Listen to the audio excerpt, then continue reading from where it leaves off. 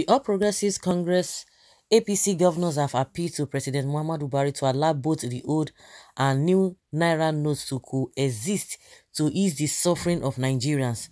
Nasir El-Rufai, governor of Kaduna State, said the request was made to the president when the APC governors met with him on Friday. El-Rufai was flanked by Abdullahi Ganduje, Kano State governor, while briefing journalists on the outcome of the meeting at the State House. He said although the Central Bank of Nigeria, CBN, mopped up over 2 trillion naira of the old notes in circulation, only 300 billion naira worth of new notes were printed. The governor said if the CBN intends to implement the cashless policy, the Apex Bank should have printed at least half of what was mopped up. He said the governors told the president that the masses are suffering and traders are losing their goods due to a lack of patronage. El-Rufai said they appeal to Buhari to reconsider his stance. The Kaduna governor, however, said the president did not decline or approve the request. He said Atiku Bagudu, Kebbi State governor and chairman of the Progressive Governors Forum, is meeting with the president, president privately in a bid to convince him to shift ground on the matter. You see how wicked these people are. See, they are trying to turn everything that, oh, it is the masses that are suffering. All this while, the masses have been crying about uh, how things are expensive in the market. People cannot get job. Unemployment is over, is 33% officially. That the one we know is going to be more than that. Inflation is something you cannot even talk of. But the official um, percentage is you know it's even crazy. But if you want to go if they really want to say the truth you know that it's even more than that. Nigerians have been crying. I've never seen these apc governors or all the governors whether in pdp or whatever coming together to say oh our children have stayed home for more than how many months? What is happening? Did they did they care? They didn't care. Nigerians are crying of, of insecurity.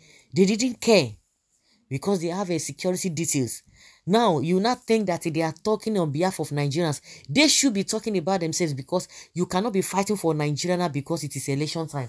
No, we know the reason why you are saying that that uh, they should allow the old notes and the new notes to work side by side. If there's anything that the CBN governor is doing, you should blame Buhari for that because there's nothing he's going to be doing. You think uh, there's anything he's doing without uh, the knowledge of uh, the president? I think uh, maybe after the begging and persuasion on Friday. That was when they see maybe they told him to please oh, come and help us project uh, Tinubu.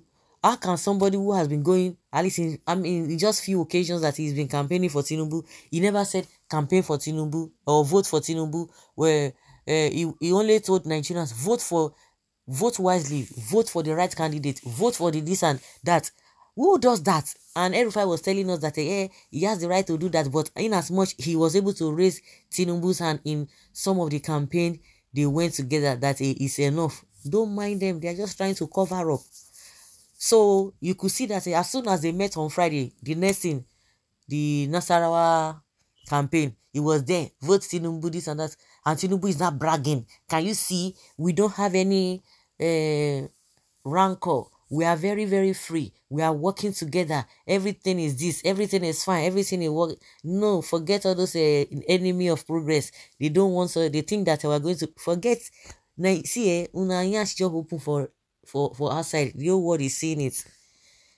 And in fact eh, they, they, they're just deceiving themselves. And i don't even understand. I don't even know what it takes just do even just the little the basics the basics just do it for nigerians so that nigerians they will even forget whatever you are doing because these politicians do not have sense. I'm able to say it. They don't get sense. All these uh, developed countries that you're saying you think uh, they are clean? Do you think they are not uh, outsmarting or they are not uh, uh, in one way or the other you know defrauding the people? You think they are not that? You think they are saints?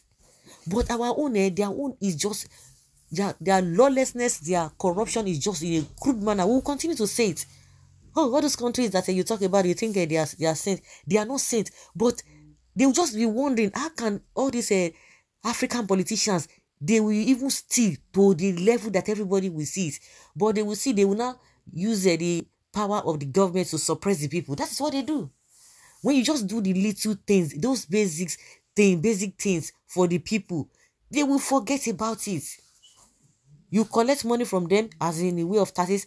Now they will not be telling you that Nigerians are not paying taxes because you are not there's there's no system in place. If there's system in place and you are collecting or find whatever you want to call it taxes and you are doing it and the people are seeing what you are doing with it, who, who, who told you that they will not uh, they will not cooperate? But you don't do nothing. Even the few ones that are being collected, what do they do with them? They filter them away. It will go into some few individuals. The next thing is just to go outside the country and go and be borrowing money. Even the money, 70% of the money, they will share among themselves. The money will not be enough because you see that uh, most of the projects they engage uh, they engage on or they engage with, they are substandard, uh, what is it called? Projects. In no distant time, it will stand, it will not stand the test of time.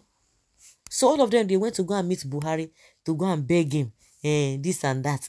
Eh, let old notes. You are not fighting for the masses. It's a lie. You are not fighting for the masses. Things are expensive on a daily basis. The the the, the rate between exchange rates between the official rates and the black market, you are not even doing anything to bump it together. This issue of uh, fuel scarcity has been going on for God knows when. You did not come out to say anything because of this money, because there is affiliation, there is correlation between the election that is coming up and with that money, this uh, redesigning of Naira is affecting you. And you are not telling us a, uh, a market we cannot do this.